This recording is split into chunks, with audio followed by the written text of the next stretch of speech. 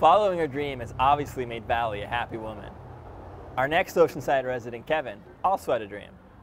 And one day he decided it was time for him to follow his own dream. I am a portrait and wedding photographer, but I'm not really in the photography business. I'm actually in the family history business. That's my that's my love and my passion is to record family history and to record it well. I've opened my business about three years ago. Before that, I was in the college textbook publishing business and then the college software business. Well, four years ago, my mother became quite ill. I was, my mother's doing great now, but it was a very, very critical time. I, I turned 40 and you go through the process of, you know, what am I doing here? Um, what's this all about? It's time to follow passion and dream. I was sick of being on a plane every week, 15, 16 hour days. Not that I don't have those now, but now it doesn't feel like work. I will say this much though, I, I, I received some very good counsel from some other photographers and they basically told me, hey man, don't quit your day job too soon.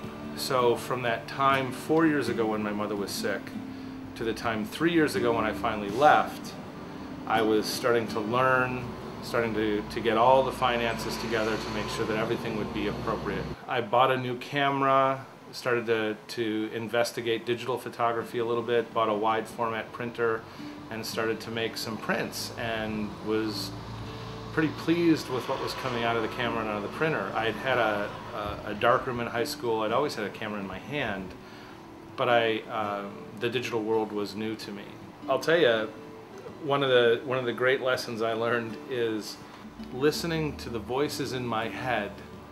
When I start to hear the words, "Oh, that's too hard to do that," I now know, "Oh, that's probably something I should be doing." Because that challenge at first was going to be, you know, truly an obstacle. Now I kind of I wouldn't say I search for challenges. That's that's not it.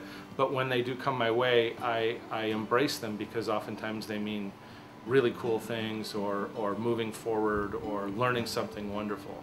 I love the clients I have. I've been so blessed by the people who've come to me for their photography.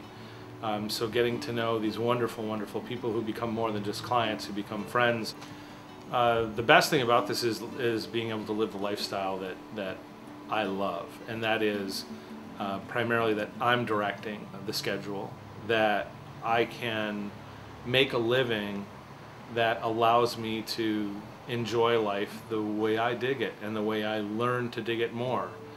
Um, really, the, the best thing about it is my lifestyle. Is there a secret? I don't know. But for these two people, they might just be onto something. Join us again next time, where we meet some new North County residents who are also following their dreams. For Inside Oceanside, I'm Adam Rudder.